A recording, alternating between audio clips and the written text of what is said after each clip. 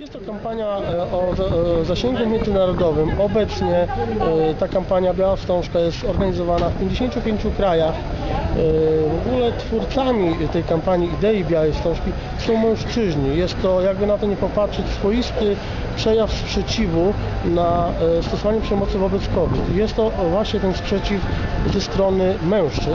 Jako generalnie rzecz biorąc w większości sytuacji sprawców tej przemocy. Yy, Kampania ma na celu przede wszystkim uświadomić yy, społeczeństwo, że taki problem yy, w dalszym ciągu jest, funkcjonuje i w dużej mierze też ma na celu za zadanie otworzyć to społeczeństwo na ten problem, aby mogli, potrafili rozmawiać na ten temat i tym samym, aby ten temat nie stawał się problemem tabu, problemem niewygodnym. Jak ten problem jest widoczny w naszym regionie? Generalnie rzecz biorąc, yy, problem jest jednolity w całym kraju.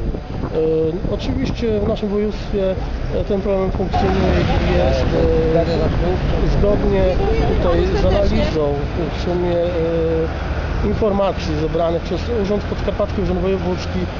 Praktycznie nie ma gminy w województwie, w której ten problem nie występował. Czyli generalnie rzecz biorąc jest to bardzo duży problem bardzo duży problem wielu rodzin, a zarazem też i problem osób doświadczających jakichś świadków, a świadkowie to przede wszystkim dzieci.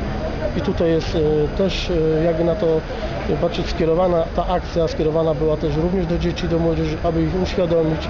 Był zorganizowany konkurs plastyczny, który odbył się, nagrody zostały już w tym momencie przyznane i między innymi ten plakat, który jest też widoczny w tle, y, jest to y, plakat zwycięski tego konkursu, który właśnie ilustruje y, hasło kampanii, czyli Twoja niemoc rodzi przemoc.